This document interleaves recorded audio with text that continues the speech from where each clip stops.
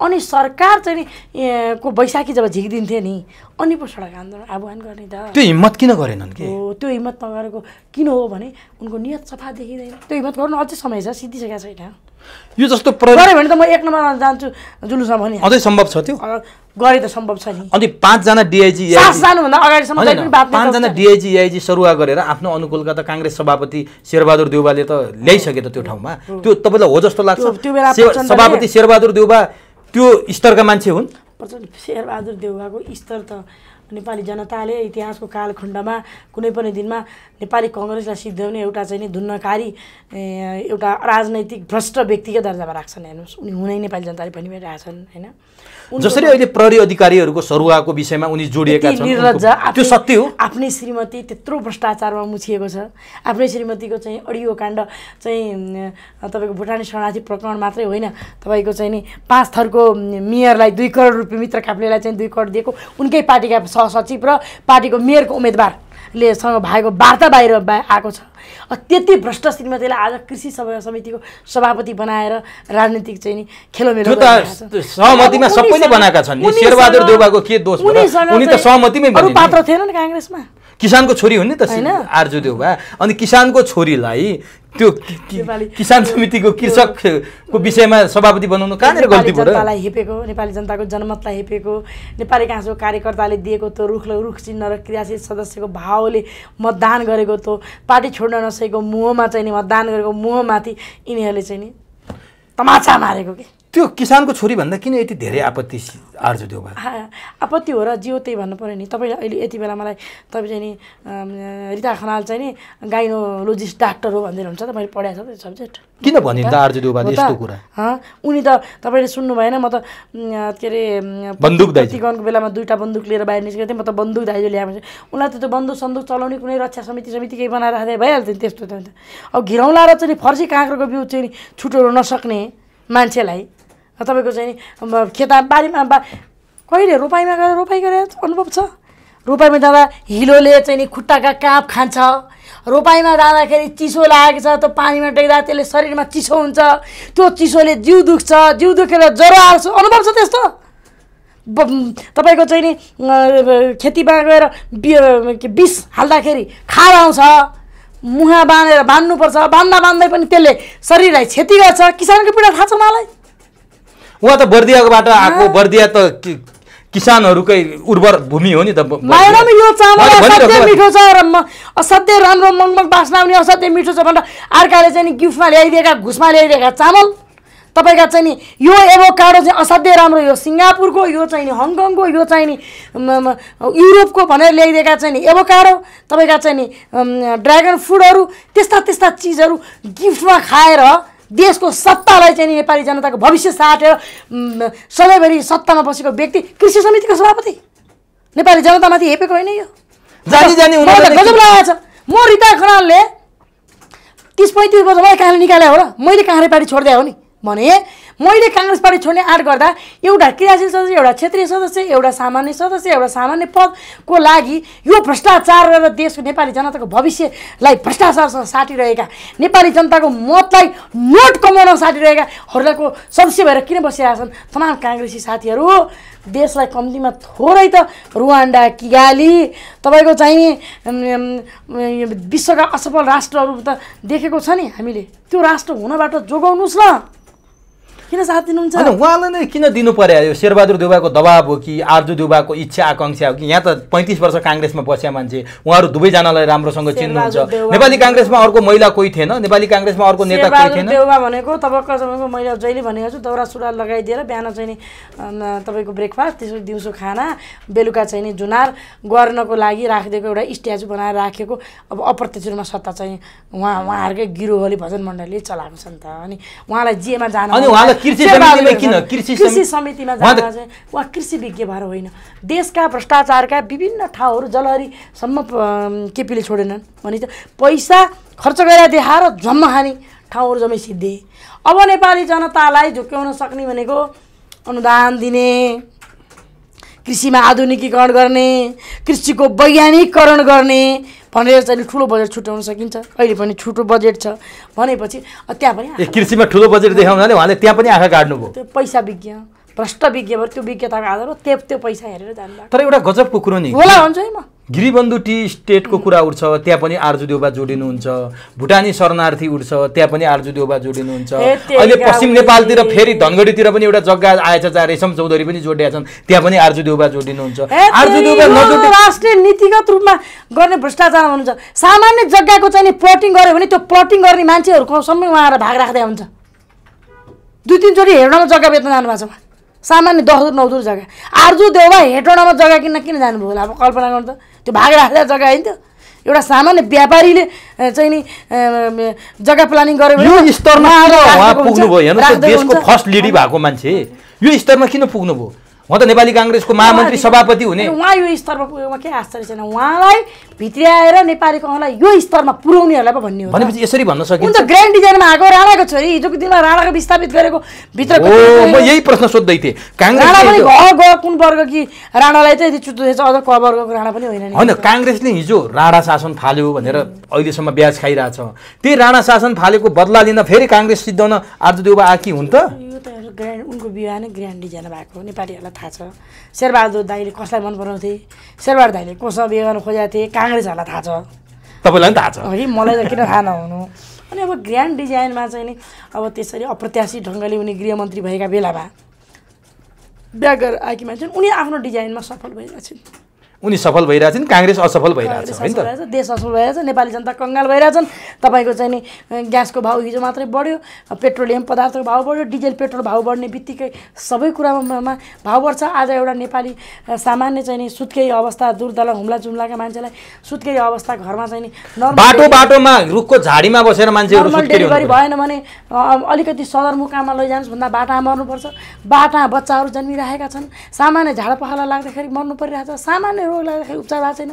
एउटा घाउ लाग्यो त्यो घाउमा उकुच पल्टेर अलि चाहिँ पाक्दै गयो भने त्यो घाउलाई बेरैमा औषधि नगर्दा त्यो घाउ कुहिएर क्यान्सरबाट मर्नु परेको छ भने आज नेपाली जनताले ज जनताले सानो उपचार गर्दाखेरि मेरी आमा बाँच्थी एउटा एउटा महिला आमा मर्दा त्यो घरमा कति ठुलो हानि हुन्छ भन्नुहोस् त। छोरछोरी टुरा हुन्छन् त्यो घर लथालिङ्ग हुन्छ भने ती बच्चाहरूको पढाइ बिग्रिन्छ। नबिर्सी ती समाजका गलत बाटोमा जान्छन्। त्यो गलत बाटोमा गएका ती बच्चा राष्ट्रले भोग्नुपर्छ।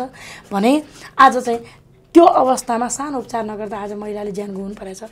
आज गरिबहरूले ज्यान गुमाउनु परेको छ भने देशमा एउटा चाहिँ नि राज्यले दिएको औषधि यो चाहिँ आस्थामाको औषधि यो चाहिँ बिरामीको लागि सिटामोल यो चाहिँ अ, झाडापखालाको लागि औषधि भनेर राज्यले चाहिँ नि तोकेको औषधि हस्पिटलमा चाहिँ न- नाम डिलिट गरेर बिक्री हुन्छ हस्पिटलको डिलरबाट। भने देशलाई त्यो तहमा पुर्याएर कहाँ कुन क्षेत्र छ भ्रष्टाचार नभएको? अनि? डाक्टर आर्जुलाई कृषि समितिको सभापति बनाउँदा देशले के पाउँछ? देशले अझै हानि देशमा देश देशमा देशमा भ्रष्टाचार अझ मनाउँछ नेपाली जनता अझै कङ्गाल हुन्छन्। अब नि जस्तो अझै कङ्गाल हुन्छन् अझै उनी त्यो भ्रष्ट- कृषि समितिमा मात्रै हाँक्ने मान्छे होइन नि। देशको सबै समितिमा उनको हिस्सा हुन्छ सबै समिति। राज्य अहिले शेरबहादुर देउवा प्रधानमन्त्री भयो नि उनी फर्स्ट म्यान जस्तो भएर सेकेन्ड उनी प्रधानमन्त्री फर्स्ट हो त्यसपछिको छाया हुन्छन्। अब अहिले कोइलेसनमा गभर्मेन्ट छ त्यसमा पनि प्रचण्डलाई उठबस उनीहरू नै गराउँछन्। भोलि एमालेसँग मिले पनि उनीहरू नै गर्छन्। अब तपाईँको त कहिले- के पाउँछ एउटा? समितिमा बस्या त। सबै समिति उहाँहरूले चढ्नुहुन्छ। त्यो समिति अहिले काङ्ग्रेसले भाग पाएको समिति के? आरजुको सहमति बिनाको मान्छे पाएको छ यो दुर्दशा चाहिँ कहिलेसम्म चल्छ भने क्या तपाईँ त काङ्ग्रेस छोडेर निस्किनु हो काङ्ग्रेस छोडेर मात्रै हुन्छ त जनता देश छोडेर निस्किन लागिसके। यो अवस्था देखेर तपाईँ काङ्ग्रेस छोडेर निस्किनु भयो। तपाईँ जस्ता थुप्रै मान्छे काङ्ग्रेस छोडेर खति हुन्छ। अब के हुन्छ त? कसरी हुन्छ त? अब यस्तै ढङ्गले अगाडि। अति भएपछि खति हुन्छ। विषको घडा भरिएपछि पोखिन्छ। निश्चित पनि राणा शासनको अन्त पनि नेपाली जनताको साथ लिएर गए हो। पञ्चायती व्यवस्थाको बहिर्गमन पनि नेपाली जनताको साथ लिएर गए हो। भने हामीहरू जस्ता मान्छे त छौँ नि जनताको मुद्दा तर लोकतन्त्र छ नि त आज होइन के को यो छ। लोकतन्त्र यसलाई यसलाई लोकतन्त्र। लोकतन्त्रको विकल्प लोकतन्त्रै हो तर लोकतन्त्रमा त विधिको शासन हुनु पऱ्यो नि। नेपाली जनताको फन्डामेन्टल राइटलाई सोच्नु नेपाली जनताका सम्पूर्ण अधिकारलाई कुण्ठित गरेर लोकतन्त्रका आधार स्तम्भ त्यसको संस्कार संस्कृति निर्वाचन। विधि पद्धति सबै ध्वस्त बनाएर अनि देशका चाहिँ तिनवटा ठेकेदारहरू कार्यपालिका न्यायपालिका व्यवस्थापिका चाहिँ यिनी आफै भनेर अदालत जस्तो ठाउँमा समेत सेटिङ गरेर व्यक्ति पठाएर अदालतलाई पनि आज नेपाली जनताको आस्था र विश्वासबाट टुटाएर पुलिस प्रशासन यिनका कठपुतली बनाएर अनि यिनी यिनलाई लोकतन्त्र आबादिक निर्वाचन। लोकतन्त्रको उपहास हो म तपाईँलाई भनिदिउँ तपाईँ आबादिक निर्वाचन भएकै छ। न्यायपालिका छँदैछ कार्यपालिका छँदैछ व्यवस्थापिका छँदैछ सबै कुरा छँदैछ त अनि कहाँ कुरा छ। प्रणाली र प्रवृत्ति। त्यो प्रणाली या चलाउने प्रणाली अमुक हो। चलाउने चलाउने व्यक्ति हो। चलाउने व्यक्ति नेपाली जनता अब ए अलिकति त मैले जनतालाई पनि भन्नुपर्छ। होइन जनता पनि तपाईँको सानो लोभमा अल्झिएका छन्। कार्यकर्ता छन् मेरो पार्टी गल्ती गर्यो भने थाहा पाएछन् तर पनि पार्टी छोड्दैनन् ती लोभी ने पार्टीका कार्यकर्ताहरूले बिगारिदिए तिनले जनतालाई निर्देशलाई परिचालन गर्छन् क्या बुझ्नु भएन कार्यकर्ताले चोक र चौतारीमा बसेर जनतालाई परिचालन गर्छन्। अनि जनतालाई परिचालन गर्ने मुठ्ठीभर लाखौँ लाख कार्यकर्ता छन् नि त। ती लाखौँ लाख चाहिँ पार्टीका कार्यकर्ताहरू चाहिँ सानो मोहमा पार्टीको चाहिँ भ्रष्टहरूको विरुद्ध चाहिँ बोल्न पनि सक्दैन पार्टी छोड्नु पनि सक्दैन। सबभन्दा बेइमान र सबैभन्दा यो देशलाई छ नि यति बेला नेकपा एमालेको कार्यकर्ता नेपाली काङ्ग्रेसको कार्यकर्ता र माओवादी कार्यकर्ता। अनि सबैले छोडेर निस्केर हुन्छ त सुधार्न पनि त सकिन्छ होला नि त्यहीँ बसेर जनता बनाएको विकल्प खोज्नु हुँदैन व्यक्तिका विकल्प व्यक्ति खोज्ने होइन एउटा एउटा भ्रष्ट भ्र- यो भ्रष्ट हो थाहा पाएपछि फेरि त्यसैलाई सरकारमा अनि जनताले विकल्प। नखोजे हो र स्वतन्त्र पार्टी खोजे एक्काइस बाइस सिट दे स्वतन्त्र पार्टीबाट नेता खोजे वैकल्पिक नेता पनि ल्याए खोइ त जिउका तिउ छ त समस्या म यहाँलाई भन्दैछु के हामीले संविधान बनायौँ दुई हजार बहत्तर त्यसपछि दुईवटा निर्वाचन पनि भए निर्वाचन नभएको पनि होइन तर समस्या जिउका तिउ छ बिसको उन्नाइस हुँदैन। किन त? हामीले विकल्पमा वैकल्पिक त्यो। शक्ति पनि दियौँ। समस्या जिउका त्यो भइदिएको भए त आजभन्दा पन्ध्र वर्ष बिस वर्ष अगाडि त अवस्था योभन्दा राम्रो थियो नि। देशलाई झन् विकराल बनाए झन् पराधीन बनाए नेपाली जनताहरू आज कसरी परिवर्तन परिवर्तन यिनले परिवर्तन गर्ने बेलामा चाहिँ युवा देशमा थिए यिनका विरुद्ध खनाउने बेला भएका यिनका कार्यकर्ता छन्। परिवर्तनकारी अलिकति जो छन् विदेशमा छन्। बुढाबुढीले के आन्दोलन गर्नु? त्यसैको त्यस त्यही त्यही क्यालकुलेसन गरेर कहिलेसम्म सकिन्छ लुटौँ भनेर लागेको यिनीहरू। अनि एकैपटक सबै पार्टीका नेता चाहिँ किन यसरी बिग्रिए त? हेर्नु त काङ्ग्रेस बिग्रे एमाले विकल्प। एमाले बिग्रे माओवादी विकल्प। माओवादी बिग्रे रापरपा विकल्प। रापरपा बिग्रे अहिले आएको स्वतन्त्र विकल्प हुन्थ्यो होला क्या तर सबै एकैपटक चाहिँ एउटै ड्याङको मुला किन भयो होला नेपालमा? यस्तो भयो कि?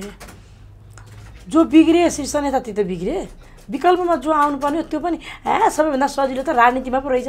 पद पनि पाएँ पैसा कमाउनु सजिलो। भन्ने मान्छेहरू थिए क्या। अनि जो साँच्चै परिवर्तन गर्न चाहने हुन् साँच्चै तपाईँको चाहिँ राष्ट्रका लागि चाहिँ त्याग गर्न चाहने हुन् ती फ्रस्ट्रेट भए। जो जनता साँच्चै जनता हो त्यो भोट हाल्न भोट हाल्न आउने अवस्था आयो। जो अलिकति चाहिँ यस्ता देशमा बसेर के काम भनेर बाहिरिन थाले। त्यस कारण केही असल मान्छे विदेशमा गए केही असल मान्छे म हुन्छ तर निराश हुनु हुँदैन परिवर्तन जहिले पनि अवश्य भावी छ। ढिलो चाँडो होला। परिवर्तन पनि हुन्छ र तपाईँलाई थाहा छैन मरिसकेपछि नि कारवाही हुन्छ नि। भ्रष्टहरूलाई त मरिसक्यो कारबाही के अर्थ मरिसकेर हुन्छ र? तेरिका- मरिसकेर के अर्थ हुन्छ र है भने? तेरिका मरिसक्दा पनि जो मान्छे सम्मान लिएको थियो त्यो मान्छे अपमान हुँदा त्योभन्दा ठुलो के भयो त? त्यसको परिवार हुँदैन जीवित। तपाईँको हजुरबालाई यति बेला उमेश सुवेदीको हजुरबाले यति सालमा यो भ्रष्टाचार गरेको रे। भन निजलाई निजलाई चाहिँ भ्रष्टाचार करार गरिन्छ भन्यो भने उमेश सुवेदा भन्दै बाहिर निक्लिनु लाज हुँदैन। खै यहाँ त यत्रो अर्बौँ अर्बौँ खानेहरू पनि मजाले निस्किरहेछन् खिस्सा हाँसिरहेछन् देश चलाइरहेछन् पाँच पाँच पटक प्रधानमन्त्री भएकै छन् तिन तिन पटक प्रधानमन्त्री भएकै छन्। जो बोल्छन् नि ती बोल्ने मान्छेलाई पो उनीहरूको जो विरोध गर्छन् जो विरुद्धमा बोल्छन् तिनीहरूको लागि अप्ठ्यारो पार्न। जस्तो यसको उदाहरण नि। सुन प्रकरण भयो। डेढ कुइन्टल सुन भित्रेको कुरा आयो तर पछि त्यो साठी किलोमा झऱ्यो। त्यहाँनिर के के भयो त्यो छुट्टै कुरो छ। एमाले निरन्तर संसद अवरुद्ध गर्यो। एमाले अवरुद्ध गर्यो सरकारले चाहिँ हामी सिआइबीलाई नै दिन्छौँ उच्च स्तरीय समिति बनाउनु भन्यो। पटक पटक वार्ता भए। एमाले संसद अवरुद्ध पनि खोल्यो उच्च स्तरीय समिति पनि बन्यो। काम गरेका छैन दुई बुधे सहमति भयो। गृहबन्धु टी स्टेटको फाइल खोल्छौँ भनेर प्रचण्डले सम्पादकहरूलाई बोलाएर भने केपी ओलीले त खोल्न जरुरी नै छैन त्यहाँ केही भएकै छैन भनेर बोले। अब सबै हात्ती आयो हात्ती आयो फुस्सा। कुरा गरे कुरैको दुःख। किन यस्तो हुन्छ? तिनजना नेता तपाईँलाई तपाईँलाई लागेको थियो यसै गरी मिल्छ यो सुन काण्ड भन्ने लागेको थियो? किन भनेको थिएँ नि? मैले भनेको थिइनँ र अब यो थोरै त अनि को सत्ता। पक्ष को प्रतिपक्ष? थोरै थोरै त जहिले पनि रहन्छ। यी तिनवटा पार्टी भनेका कार्यपालिका व्यवस्थापिका न्यायपालिका सबै यसलाई चाहिँ कब्जामा लिएका भ्रष्टहरू ठेकेदारहरू यी मिली भगतमा यिनका अरू अरू इस्युमा चाहिँ अब इस्यु भएको हो अब यो डिसमिस पार्छन्। अब होइन भने प्रचण्डले प्रचण्डले देखाइसके त रनक डिसमिस पार्ने। ललिता निवास हेर्नुहोस् त। माधव र बाबुरामसँग बयानै हुँदैन। त्यो पनि प्रहरी घरमै गएर बयान लिन्छ उनीहरूलाई मुद्दै बयान लिन गएको प्रहरी शैली ठोकेर अनि काम गरेर देखाउन बाध्य छ क्या? अनि प्रचण्ड किन यति कमजोर भए भने के? कमजोर त परिस्थितिले बनाए परिस्थिति छ। तर त्यसलाई तोड्न किन सकेनन् भन्नु न त्यहाँ त्यो तोड्न किन सकेन? उनको नियत खराब जनता सामु आएर भन्न सक्नु पर्थ्यो नि त प्रचण्डले। त्यही त नि उनको खराब के प्रचण्डले पनि जेल हाल्ने योजना बन्दैछ र यहाँ? अर्को अर्को गठबन्धन बनेर सुनिल शर्माले भनेअनुसार अनि निश्चित निश्चित पनि प्रचण्ड पनि त क्यान्टोनमेन्टका केसहरू देखेर सायकरा मुछेकै छन् नि। उनी कहाँ चोखा छन् त? त्यो कुरा देखायो। तपाईँ त हिम्मत गरेर चाहिँ नि तागत भए खोलेर देखा चुनौती दिन्छु भनेर किन बोल्छन् त एमालेका सांसदहरू? केपी ओली। गिरिबन्धु टी स्टेटमा चाहिँ केपी ओली किन तर्सेका हुन् गिरिबन्धु टीमा स्टेट मात्रै? अहिलेसम्म भ्रष्टाचार काण्ड कुन कुन काण्डमा तपाईँको हामीले देखेको कोरोना कालमा तपाईँको चाहिँ नि चार रुपियाँको मासलाई सन्ताउन्न अन्ठाउन्न रुपियाँ बेचेको दस अरबको घोटाला भएको होइन त्यो बेलामा? तपाईँको चाहिँ नि ओम्नी यति तपाईँको चाहिँ नि वाइट बडी लगायतको चाहिँ नि काण्डै काण्ड छैन? तपाईँको अनि भनिरहेछ नि त हिम्मत छ भने खोल खै त प्रचण्डले खोल्नु त्यही त भने त हिम्मत छ भने खोल्नु भने शब्दको अर्थ खोल्नु न। खोल्नुहोस् तपाईँ हामी सहयोग गर्छौँ। भ्रष्टाचार सम्बन्धी फाइल खोल्नुपर्छ। प्रचण्डले भ्रष्टाचारका कुराहरू खोल्न बडा राम्रो गर्नुभएको छ। हामी पनि निर्मम तरिकाले गर्नुहोस्। हामी पनि पऱ्यौँ भने जेल जान तयार छौँ भन्छ त। तागत छ खोल्ने टेलर हेर्ने टेलर हेरेको फिल्म हेर्ने। यो सब भाषाको अर्थ के? अनि प्रचण्डले चाहिँ हिम्मत किन नगरे क्या त्यो खोल्ने? हिम्मत नगर्नु भने नि। उनी सकसमा छन् त्यो स्वाभाविक हो। तर सकसलाई उनी चिर्दाखेरि नेपाली जनताको साथतिर चिर्न सक्थे। उनी पनि बार्गेनिङमा छन् उनी पनि तपाईँको सिसाको ढुङ्गा घरमा बसेर तासको घर ढुङ्गा हाने न हो। अनि अब के देख्नुहुन्छ त यो केही चाँडै सत्ता समीकरणको सम्भावना हो? अब के काङ्ग्रेस र एमालेको गठबन्धन बन्दैछ प्रचण्डलाई पनि थ्रेड छ भन्ने आवाजहरू सुनिन्छ। काङ्ग्रेस एमालेको गठबन्धन बन्ने सम्भावना कति देख्नुहुन्छ अथवा काङ्ग्रेस फुटेर केपी ओली काङ्ग्रेस र रविको गठबन्धन बन्दैछ भन्ने हल्ला पनि सुनिन्छ कि मार्केटमा? आठ छ भने नेपाली कङ्ग्रेसका युवाहरू आफूलाई परिवर्तनका सम्भाग मसिया सम्झिनुहुन्छ हिम्मत छ भने देश डुबिराख्दा देश लुटिराख्दा नेपाली जनता भोग भोग मन लागिराख्दा देशको राष्ट्रियतामाथि चाहिँ नि धज्जी उडिराख्दा पार्टी फरन निक्लिनुहोस् न। बनाउनुहोस् नयाँ नयाँ समीकरणले केही न केही टेस्टेड भन्दा त नन टेस्टेडलाई टेस्ट गगन थापाको पछिल्लो अभिव्यक्ति सुन्नु भएन। यी। जोगाउन चाहिँ अब। गगन बोल्ने हो गर्ने हो? मलाई गगनले बोल्नु साथ हुन्छ मेरो। बोलिरहेछन् त। त्यो गर्नु पर्यो। कसैले पनि छोडिँदैन भनेर। गगनले बोल्नु गगनले गगन बोलेरै गगन भा अब गगन गरेर देखाउने बेला अब चाहिँ। गत बत्तिस वर्षको उमेरमा गगन चाहिँ मान्ने हुँदै कि हामी त्यो पार्टीमा काम गरेका थिएन? अरू थिएनन्? अनि गगन बोलेरै गगन भए होइन? अब बोलेर मात्रै गगन भइरह्यो भने कि त्यसको पनि बोल्ने पनि समय सीमा हुन्छ। गरेर देखाउने हो। अब गगन गगनको गरेर देखाउने बेला हो। अहिले गगन पार्टी फोरेर आएर ल रवि लामी छानेहरूको टिमसहित लिएर नयाँ तरिकाले नेपाली जनता अब त गर्छ जाऊ न म सैलुट गर्छु। गफ मात्रै गर्यो भने त त्यही खाल्टा त्यही भाउजू लाएर दाइलाई चाहिँ सहयोग सपोर्ट गरेकै पुष्टि हुन्छ नि। अनि पार्टी मिटिङमा असहमति राखेर मात्रै हुन्छ। पार्टी फोड्नु मात्रै सम- समाधान सल्लाहमा असहमति राख्यो भनिदिन्छु म त अब यदि कुनै पनि किसिमको नयाँ ब्रेक गरेर आएर राष्ट्र र नेपाली जनता कङ्गाल भएर राष्ट्र कङ्गाल भएर राष्ट्रियतामाथि यति चाहिँ नि धज्जी उडिराख्दाखेरि गगन जतिको व्यक्तिले नेपाली जनताले दिएको त्यो अपार सम्मान रविलाई नेपाली जनताले दिएको त्यो अपार माया र सम्मानलाई एक ठाउँमा जोडेर विकल्पको खोजी गरिँदैन भने उनीहरूलाई इतिहासले अहिले केपी ओली र चाहिँ नि प्रचण्ड शेरबहादुरलाई भन्दा पनि कालो कालो धब्बा लाग्नेछ। शेखर कोइरालाले त काङ्ग्रेसमा समानान्तर कमिटी बनाउँछु भनेर प्रयास गरिरहेछन्। यो समानान्तर समानान्तर कमिटी पनि बन्दैन। शेखर त्यो पार्टीभित्र पनि विकल्प चाहने नयाँपन चाहने शेरबहादुरको नेतृत्व नचाहने अनगिन्ती साथीहरू छन् नि। ती साथीहरूको एउटा धारले त रोक्नु पर्यो? त्यो धार पनि रोकिने आफू नेता पनि पा बन्ने मात्रै चाहिँ मेलोमेसो गर्नु भएन नि शेखर दाईले पनि। म त शेखर दाईले नेतामा राखेको मान्छे हो नि। उहाँले समानान्तर पार्टी बनाएको खोलेको उहाँले देशभरि समानान्तर बनाएर शेरबहादुरका विकृति विसङ्गति राष्ट्रघाती कदमलाई रोक्ने आँट गरे भए म त्यो पार्टी छोडेर हिँड्थेँ। दशकको दसौँ पटक गएर भनेको छु दाइ समानान्तर पार्टी बनाउनुहोस्। दाइ पार्टी ब्रेक गर्नुहोस्। पार्टी चाहिँ यही नेपाली काङ्ग्रेस पार्टीको रुख चिन्ह गएर छुटेर के हुन्छ तपाईँलाई? आस्था र बिपीको आस्था र चाहिँ आदर्शलाई लिएर नेपाली जनताको झन्डा बोकेर जाउँ।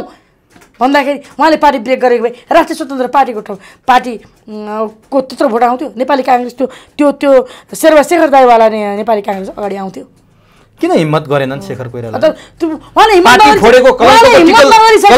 लाउनु पर्थ्यो पार्टी फोड्नेहरू को सफल भएको? कसरी कलङ्कको टिका लाग्छ होइन। नेपाली जनता र राष्ट्रको हितमा काम गर्दा जनताको हितमा काम गर्दा हिजो वामदेव। गौतमले पार्टी फुटाए एमालेमै फर्किनु वामदेव पर्यो गौतम त त्यही पथमा गयो नि त उहाँ फरक जानु हिजो शेरबहादुरले पार्टी फुटाए फर्केर काङ्ग्रेसमै आउनु शेरबहादुरले पार्टी फुटाएको? फुटेको पार्टी कुन सफल भएको छ? शेरबहादुरले पार्टी किन फुटाएको थियो भन्दा कोइराला बात भयो। व्यक्तिवाद भयो नातावाद भयो कार्यकर्ता मूल्याङ्कन भएन भनेर फुटफुटाएको होइन। त्यही त थियो नि त्योभन्दा त्योभन्दा पनि प्रतिगमनमा त्योभन्दा पनि गई गुज्रेमा शेरबहादुर गयो हो। वामदेवको पनि हालत त्यही हो। त शेखर दाईले पार्टी फुटाएर नेपाली जनताले चाहेको बाटो हिँडेको यी नेपाली जनताले चाहेको बाटोमा पार्टी फुटाउनेहरू हिँडेको भए त सफल भइहाल्थ्यो नि। आफ्ना लागि आफ्नो त्यो पार्टीभित्र अपमानित भयो आफूले भने जस्तो भएन त्योभन्दा बढी पाउनका लागि पार्टी फुटा भएर पनि नपात नेपाली जनताको लागि पार्टी फुटाइयोस् त सैलुट गर्छन् नेपाली जनता। भनेपछि काङ्ग्रेस र देशको भविष्य दाईसँग आश छैन मलाई अब। शेखर दाईले त्यति बेला समानान्तर कमिटी खोलेको भए रिता खनाल महिलासँग सभापति बनाइदिनुहुन्छ देश घुम्छु। कुन समाजको सभापति हुन्छ देश घुम्छु परिवर्तनका पक्षमा? भनेको थिएँ। आँट गर्नुभयो उहाँले। बनाउनु केही पनि पाउनुहुन्न त्यो कतै म जस्तै पार्टी छोडेर हिँड्ने साथीहरूलाई रोकेर राख्नुहुन्छ उहाँले गगनले हो। काङ्ग्रेसबाट अब देशको भविष्य देख्नुहुन्न यहाँले? गरे त देख्छु नगरी चाहिँ के देख्नु? होइन यही हिसाबले। अब यही हिसाबले त के देख्नु? अब गगन अब म चुप लाग्दिनँ अब म केही गर्छु भने भने छ। अब मिटिङमा चाहिँ नि शेरबहादुरको चाहिँ नि विपक्षमा मत राख्नु भयो। नेपाली जनताले त्यतिले पुग्यो? नेपाली जनता डेलिभरी रिजल्ट चाहियो। नेपाली जनतालाई? नेपाली जनता चाहिँ देश कङ्गाल भइरहने। हिजो हिजो चाहिँ नि सात अरब नेपाली जनतामाथि ऋण ऋण थियो। केपी ओली सरकारमा गएर छोड्या भोलिपल्ट। त्यो ऋण बाइस अरब पुग्यो। नेपाली जनताले यो कुरो कसले बुझाउने? अनि तिनै चाहिँ ठुला कुरा गरेका छन्। तिनैका कार्यकर्ताले खेती गरिदिएका छन्। तिनै सत्तामा आएका छन्। यो मैले अघिदेखि भन्न यो देशमा पार्टीका दसौँ लाख कार्यकर्ता हुनु नै राष्ट्रको लागि अब विकल्प के त भन्नु त? तपाईँहरूले विकल्प दिन पनि त सक्नु भएको छैन किन दिनु? विकल्पमा। आउँछ। राणा शासनको अन्त गर्न एक सय चार वर्ष राणा राणा जस्ता हुन्? पारिवारिक जानिया त होइन नि। हेर्नुहोस् राणाको पालामा राष्ट्रियता थियो। राणाले त सम्पत्ति नेपालमा राखेको थियो। मठ मन्दिर बनाएको थियो। सिंह दरबार जस्ता चाहिँ अनेकौँ दरबार बनाएको थिए। अहिलेसम्म त्यही सिंह दरबारमा राज गरेका छन्। यिनले त पैसा छ। सिङ्गापुर देखि लिएर गएर तपाईँको चाहिँ नि स्विजरल्यान्ड। स्वि- स्विजरल्यान्डमा देख्नु भएन। स्विजरल्यान्डमा अहिले चाहिँ बाइस कति बाइस अरब कति लगभग थियो दस वर्ष अगाडिसम्म। अहिले छ्यालिस अरब पुगेको छ। यिनका हिजो त पम्फादेवीले पैसा राख्या भनेर आरोप लाउँथ्यो। अब अब पम्फादेवी थुप्रै थुप्रै जान जन्मिसके। हिजो। अब के गर्ने त भन्नु त? यसरी तपाईँ हामीले चिन्ता त गरिरहेछौँ नि। आज पनि युवाहरू पाँच हजारका दरले बाहिर गइरहेछ। गाउँघर खाली एयरपोर्ट गयो ती रुन मन लाग्छ। एउटा म्यान पावर अगाडि पुग्यो ती रुन मन लाग्छ। झोला बोकेका छन् लर्को लागेको छ। आज चाहिँ नि भारतले चामल बेचिदिनु भन्दैछ। आफ्ना गाउँपाखामा चाहिँ नि रोपाइँ गर्नलाई खेती गर्नलाई चाहिँ मल छैन बिउ छैन। बिउ छैन मल गर्ने मान्छे छैन। पनि छैन बिउ मल मल र बिउ त बरु देशैभित्र राष्ट्रियताले उत्पत हुने भने देशैभित्र आउँछ। गाई बस्तु पाले मल आउँदैन। काम गर्ने मान्छे छैन? काम गर्ने मान्छे खोइ कसले गरिदिने? देशलाई त्यो ठाउँमा पुर्याइसकेका छन् अनि देश चाहिँ त्यो ठाउँमा पुऱ्यो नि अनि आफूहरू चाहिँ हामी परिवर्तनका महानायक भनेर नि एकचोटि चाहिँ नि त्यो पार्टी छोडेर परिवर्तनको पक्षमा हिँड्न लागेको व्यक्तिलाई चाहिँ नि ओगटेर राखिरहने अब यही बेला चाहिँ धार्मिक र जातीय सद्भाव बिथोलिने खतरा छ। प्रचण्डले बोले कि जातीय राज्य बनाउँछौँ हामीलाई बहुमत दिनुहोस् भनेर एउटा जनजातिको कार्यक्रममा बोले। बाबुराम भट्टराई धरान पुगेर हर्क साम्पाङसँग भेट गरे जहाँ मन्दिरको अगाडि चर्च भन्दा विवाद भइरहेको थियो। त्यसपछि गाई गोरु काटिन थाले धरानमा गाई गोरु काटेर भोज भतेर हुन थाले। यो कुरामा राज्य किन मौन? यो कुरालाई राज्यले किन नियन्त्रण गर्न सक्दैन? एक तरिकाले संविधानले नै राष्ट्रिय जनावर इङ्गित गरेका छ लेख्या छ। अर्को तरिकाले हामी गौमाता भनेर लक्ष्मी माता भनेर पूजाआजा गर्छौँ हिन्दू धर्मको एउटा आस्था छ। किन यसरी धार्मिक सद्भाव बिथोलिन थालियो? राज्य किन बोल्दैन? उहाँहरू उहाँहरू आफ्ना लागि काम गरिरहनु भएको छ कि? अर्काका लागि काम गरिरहनु भएको छ। अर्काबाट सञ्चालित हुनुहुन्छ। कसको गल्ती हो धरानमा यस्तो होइन? अब त्यो यो सञ्चालित व्यक्तिहरूले गरे। नत्र तपाईँको जसले जुन धर्म माने पनि हामी त धार्मिक स्वतन्त्रता मानेको व्यक्तिहरू हौँ नि त। धार्मिक स्वतन्त्रता छ। एक्लै अर्काको धर्ममा सद्भाव राख्ने हो भने तपाईँको चाहिँ नि ठिक छ। बहुसङ्ख्यक झन्डै अस्सी प्रतिशत हिन्दूहरूले लक्ष्मी माता तेत्तिस कोटी देवता बास गर्छन् भन्ने जनावर किन मारिदिनु पर्ने त? किन त्यसको मासु खानु पर्ने त? सद्भाव चाहेको भए। एक त त्यो राष्ट्रिय जनावर हो यसो सम्मान गर्नु पर्थ्यो। त्यो सबैको जनावर हो। त्यस्तो नभए पनि आफ्नै छिमेकीको आफूले ए दाई भन्ने मान्छे ए भाइ भन्ने मान्छे आफू मर्दाखेरि मलामी जाने मान्छे आफ्नो घरमा पूजा हुँदा आउने मान्छे आफ्नो घरमा कुनै चाहिँ बिहा बिहा भयो भने जन्ती जाने मान्छे होइन ती छिमेकी? अनि ती छिमेकीलाई मन नपर्ने कुरो मारेर खाइदिनु भनेको के हो? सामाजिक सद्भाव भड्काउनु खोजे होइन त्यस कारण सामाजिक सद्भाव हो यो सामाजिक सद्भाव भड्काउँदा अथवा संविधानले नै गैर कानुनी भनेको कुरा गर्दा राज्य चाहिँ बेखबर हुने। अनि त्यही गएर वैदिक सनातन धर्मावलम्बीहरू हिन्दू धर्म मान्नेहरूले चाहिँ हामी एउटा सद्भाव र्याली निकाल्छौँ भन्दा राज्यले निषेध गरेर कर्फ्यू लाउनु पर्ने कारण किन म त म त हिन्दू धर्म हुँ म अतिवादी होइन। अतिवाद हुन कसैलाई पनि छुट छैन। हिन्दू धर्मावलम्बीहरू पनि अतिवादी हुन पाइँदैन। अन अन्य धर्मावलम्बीहरू पनि अतिवादी हुन पाइँदैन। कुनै पनि अतिवाद भनेको समाज विखण्डन गर्ने समाजमा सद्भाव भड्काउने र समाजको पतन गराउनेहरू अतिवादी हुन्। म हिन्दू हुँ म तमाम हिन्दूहरूलाई अतिवादी नहुन आग्रह गर्छु। देशलाई बचाइराख्ने हो र सामाजिक सद्भावलाई कायम गर्ने हो भने। र अन्य धर्म मान्नेहरूले त अब त्यो कसैको आस्थालाई कसैको चाहिँ नि भावनालाई काटेर खानु भनेको त सामाजिक सद्भाव भड्का हो। अब त्यो सामाजिक सद्भाव भड्काइराख्दा तपाईँको एउटा र्याली निक्लिएर त्यो र्यालीले नै सामाजिक सद्भाव कायम गर्छ भन्ने छैन। त्यो त्यो सद्भाव त देशका हर कुनाबाट गर्नुपर्ने हिन्दू धर्मावलम्बीहरूले। अतिवादी अतिवादी हुन खोजेको हो कि भनेर सरकारले रोकेको हो भने? त्यो गलत छैन। तर आफू चाहिँ अर्को धर्म मान्छेलाई गएर उकास्ने उसलाई प्रोटेक्सन दिनलाई हिन्दू धर्मावलम्बीहरूलाई र्याली रोक्नु भनेको चाहिँ सरकार नै मतियार हो। सरकारको ग्रान्ड डिजाइनमा चलिरहेको छ भनेर बुझ्नुपर्छ। अब यो कुरा चाहिँ बढ्दै धरानबाट धनगढी धनकुटा अथवा नेपालभरि नै फैलियो भने त मान्छेहरू तर्सिन थाल्यो क्या कतै जातीय द्वन्द्वमा धार्मिक द्वन्द्वमा अथवा गृहयुद्धमा खोजिरहेको छ नि लामो समयदेखि। गृहयुद्धमा देश जाने हो कि डिजाइनमा त हो नि। प्रचण्डहरूले हिजो चाहिँ नि जनयुद्ध के के डिजाइन गरे त। के के गर्दा देशलाई विखण्डित गर्न सकिन्छ? त्यही त्यही मुद्दा उठाएको होइन भनेपछि यहाँ जनयुद्धको अवशेष छ। अहिले धरानमा जुन घटना घटेको छ त्यहाँ प्रचण्ड सत्तामा छन् जनयुद्ध गरिरहेको छु भन्छन्। प्रचण्ड सत्तामा छन् एक लाख मान्छे चाहिँ म सडकमा उतार्छु भन्छन्। अनि धरानमा यस्तो घटना घट्छ यो काहीँ कतै यो जोडिन्छ? हेर्नुहोस् गलत कुरा हुँदै हुँदैन। त्यो त्यसको सम्भावना छैन त म भन्दिनँ। तर हिन्दू धर्मावलम्बीहरू अधिकांश केही अतिवादी होलान्। नत्र हिन्दू धर्मावलम्बीहरू चाहिँ बढी संयमित मैले देखाएको छु। अन्य धर्ममा लाग्नेहरू पनि धर्मै भएर धर्मै मानेर जाने त संयमित छन् जो मिसनमा काम गर्छन् ती गलत हुन्।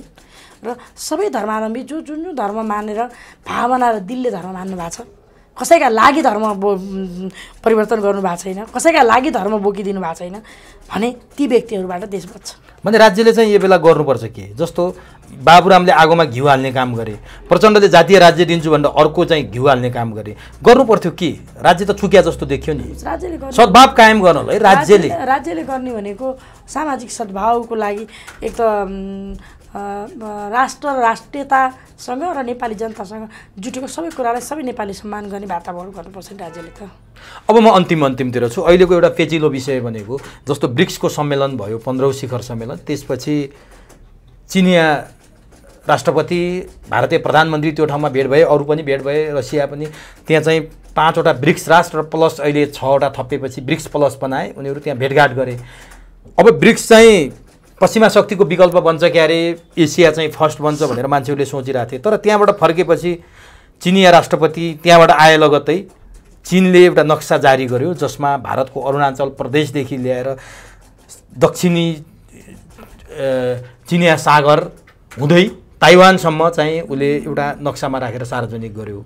यो उनीहरूको विषय भयो। तर नेपालको नक्सा पनि त्यहाँ देखिएको छ जहाँ नेपालको चुच्चो नै हराएर बुच्चो राखिएको छ।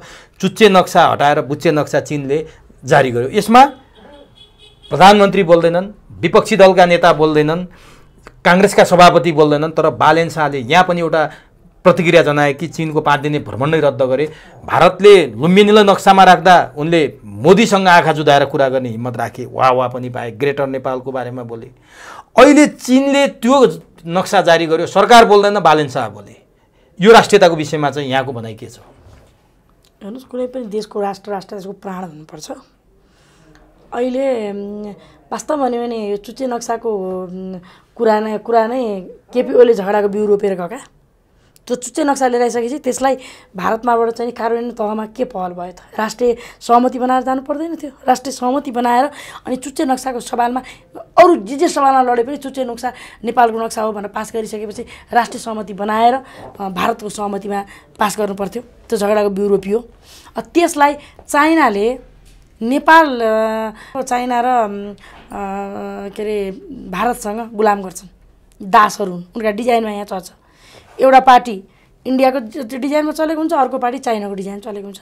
होइन? कोही ककटेल चले आउँछन् दुवैतिर प्रचण्ड जस्ता दुवैतिर मिलाउँछु भनेर हिँडेका छन्। बुझ्नु होइन हो। त यसरी बसेका बहुरुपिया दलाल गुलाम यिनका महाप्रभुहरू मानेर थापेर म त्यो शक्ति राष्ट्रलाई भन्दा पनि गाली गर्दिनँ यिनलाई भन्छु। रा राष्ट्रियताको सभामा यिनी दर हुनु पर्थ्यो नि यिनी दर खर हुने उनीहरूले यति गुलाम बनाउँदैन। उनी सरकारमा जानका लागि त्यसले भन्दा बढी तिमीलाई गर्ने? म दिन्छु। त्योभन्दा ठुलो गुलाम म भनेर यी प्रतिस्पर्धा गर्न जान्छन्। अनि यो गुलामलाई उनले किन टेर्छन्? अब भारतले चामल बेच्न बन्द गरिदिएर सिङ्गापुरले डलर आउँछ नेपाललाई किन बेच्नु? भन्दा आफ्नो देशका पाखामा चाहिँ खेतीपाती गर्नेलाई त विदेश विदेश जाने स्थिति यिनले बनाइहाले। भने अब तपाईँको बालेन्द्र शाहले चुच्चे नक्साको बारेमा एउटा प्रत्येक नेपालीले बोल्ने राइट छ भने उनी काठमाडौँको मुटु होइन? झन्डै झन्डै चाहिँ सुदूरपश्चिम बराबरको चाहिँ नि एउटा आर्थिक सक्षमता भएको एउटा चाहिँ महानगरको एउटा पढेलेखेको अ, व्यक्तिले आफ्नो देशको राष्ट्रियताको सभामा बोल्दाखेरि यो कुनै राष्ट्रको विरुद्धमा बोलेका छैन। उनले त हिम्मत गरे नि पाँच दिनको चिनको भ्रमण समेत रद्द। गरे। जति बेला भारतले गर्यो त्यति बेला भारतलाई यो कुरा त आउने बित्तिकै तपाईँको प्रधानमन्त्रीले नै प्रेस विज्ञप्ति राष्ट्रको नाममा सम्बोधन गर्नु पर्थ्यो नि। खोइ त होइन? शक्ति राष्ट्र। अनि चुच्चे नक्साको यति माया गर्ने हाम्रो केपी ओली छिमेकी- बोले खोइ। अनि अनि त्यसपछि केपी ओलीले प्रेस विज्ञप्ति निकाले। प्रेस विज्ञप्तिले चाइनाको विरुद्ध चाइनाले नगरे चाहिँ भारतले गरेर बोल्दै बोल्दै। यी त हन्डिहाका हुन्छ नि एउटा एउटा एउटा देशका हन्डिहाका अहिले भारतले गरे बोल्थे। चाइनाले गरे उनी एउटा अचम्मको कुरा जस्तो भारतले गर्दाखेरि नेपाल विद्यार्थी सङ्घले अथवा काङ्ग्रेसले काहीँ कतै विरोधमा जुलुस गरे देखिन्थेन। अहिले चाइनाले गर्न बित्तिकै चाइनिज दूतावास अगाडि नेभी सङ्घले जुलुस निकाल्छ फेरि। कस्तो खालको? हामी असंलग्न परराष्ट्र नीतिमा भएको भए राष्ट्रियता बताउँछौँ एउटा भारतको अन्डी खानेहरूले सत्तामा छन् अर्को तपाईँको चाहिँ नि चाइनाको खानेहरू छन् अनि खाएकाहरू त अतिवाद हुन्छन् ती। त्यसरी खानेहरू त आफ्नो देशको काम गर्दैनन् तिनका काम गर्छन्। अनि चाइनाले फेरि नेपालको लागि नेपालीलाई चाहिँ माया गर्ने कारण के? उसले भारत र चाइना अन्तरा विश्व राजनीतिमा महाशक्ति राष्ट्रहरू। अनि भारतसँग दुश्मनी मोलेर नेपालीलाई काखमा राख्छ चाइनाले? तर- बुझ्नु पर्दैन। तर नेपालको सार्वभौम सत्ता सम्पन्न संसदले। पारित गरेर चुच्चे नक्सा राखेको लिपिया लिपुलेक लिम्पिया धुरा कालापानी थाहा छ नि त। पास गरायो नि त्यो पार्टीको पूर्व प्रधानमन्त्री केपी ओली त कम्तीमा? प्रचण्ड त अहिले त तपाईँको तपाईँको उठ जस्तो छन्। बुझ्नु भएन उनी त। राम्रो राम्रा कुरा हाल्दाखेरि उठ बनाएको थियो नि। त्यस्तै उनी युरोपियन युनियन मिलाउने उनी चाइना पनि मिलाउने उनी चाहिँ नि भारत पनि मिलाउने सब मिलाउने भए जति दलहरू पनि चाहिँ नि हिजो मार्ने र मर्ने टाउका मूल्य तोक्ने र तोक्ने पनि मिलाउने भनेपछि उनी सत्तामा टिक्नलाई जे पनि गर्ने उनीसँग के आश गर्ने र? उनको तागतै छैन बोल्ने। केपी ओली ए, नबोले चाहिँ किन नेपाली जनतालाई थाहा पाउनु पऱ्यो नि?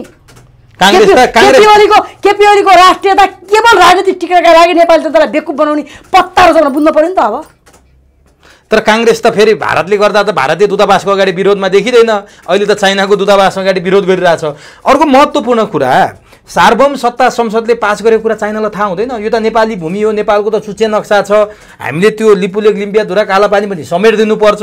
यो भारतले रिजाउनलाई गरेको कि चाइनाले नेपाललाई थाहा नपाएर गरेको कि? यो चाइनाले गर्न खोजे के हो? उनीहरूले नेपाललाई के गर्ने हुन्छन् उनका दासहरूलाई अब भारतले चाइनालाई भन्छ उनीहरूकै बिचमा टक्राउ भयो। तपाईँको चाहिँ अन्तर्राष्ट्रिय स्तरमा संयुक्त राष्ट्रसङ्घमा भिटो प्रयोग गर्नुपर्ने बेलामा उनीहरूको आफ्नो आफ्नो स्वार्थ बाजियो भने त्यति बेला उनीहरू लड्छन्। नेपालको स्वार्थलाई हेरेर उनीहरू बाजिनु जरुरी छैन नि त। उनीहरूलाई नेपालसँग भन्दा भारतसँग फाइदा छ किन दुश्मनी बनाउँछ? भनेपछि यस्तो अवस्थाबाट गुज्रिरहेको छ हेर्नुहोस् अर्थतन्त्र डामाडोल छ रोजगारीको अवस्था छैन राजनीतिक अस्थिरता छ कति बेला देश के हुने हो थाहा छैन। अब के त यहाँबाट निकास र विकासको लागि? यो अन्तर्राष्ट्रिय भ्रष्टाचार र तपाईँको चाहिँ नि अन्तर्राष्ट्रिय माफियागिरीको त नि थलो भनिरहेको छ। अब योबाट मुक्त पाउन के गर्नुपर्छ? नेपाली जनतालाई योबाट मुक्त पाउनुको लागि हरेक राजनीतिक पार्टीमा रहेका अझ पनि राष्ट्रियता भएका राजनीतिमा चाहिँ नि योग्यतावान क्षमतावान व्यक्तिहरूलाई निषेध गरेको छ र त्यस्ता निषेधित मान्छेहरू तिनी बाहिर निक्लिनु पऱ्यो। यो देशका हरेक सचेत चाहे त्यो पुलिस प्रशासनमा होस् चाहे त्यो न्यायालयमा होस् हरेक क्षेत्रमा काम गरेका विज्ञ भएका हाल बहाल रहेका राष्ट्रवादी चाहिँ ती सडकमा निक्लिनु पऱ्यो। आफूलाई विद्वान हुँ भनेर चाहिँ नि कलम चलाउने मुख चलाउने मानव अधिकार कर्मीदेखि लिएर विद्वान कालो कोट लगाउने सेता कोट लगाउने सबै निक्लिनु पर्यो र तिनले जनता जगाउनु पर्यो जनताको शक्तिले विस्थापित गर्ने। अरू के त्योभन्दा अर्को उपाय अर्को उपाय प्र- प्रचण्डको ठाउँमा यो देशले यो देशले एउटा क्रान्ति मागेको छ। त्यो क्रान्ति देशमा हुन जरुरी छ। प्रचण्डको ठाउँमा केपी ओली केपी ओलीको ठाउँमा देउबा आएर हुने होला केही पनि छैन। उयो जो सत्तामा आउँछ उसले कमिसन पहिलो बढी खान्छ प्रतिपक्षले कम खान्छ त्यति मात्रै हो। भनेपछि व्यवस्था फेल भएको व्यवस्था पुरै फेल भयो। अब के त यसको विकल्पमा व्यवस्था? यसको मैले बताएँ तपाईँलाई यसको व्यवस्थाको नाम के? होइन लोकतन्त्रको विकल्प त लोकतन्त्रै हुन्छ। तर यिनै नेता हुने भयो नि त फेरि यिनी लोकतन्त्र। यिनीहरू त हुँदैन नेता छैनन् जनताले स्थापित गर्छ नि। त्यही त मैले अघि आह्वान गरेँ त। भनेपछि यिनीबाट सम्भव छैन। यिनी जति रह्यो त्यति राष्ट्र कङ्गाल हुने हो। हस् यो महत्त्वपूर्ण समय र संवादका लागि यहाँलाई हार्दिक धन्यवाद। धन्यवाद उमेशजी। जनताको आवाज तपाईँको लोकप्रिय मिडियाबाट जनताकै पुगोस् भन्ने मेरो मनसायलाई तपाईँले उजागर गराइदिनु भएको छ। आभारी छु। हस् हस्।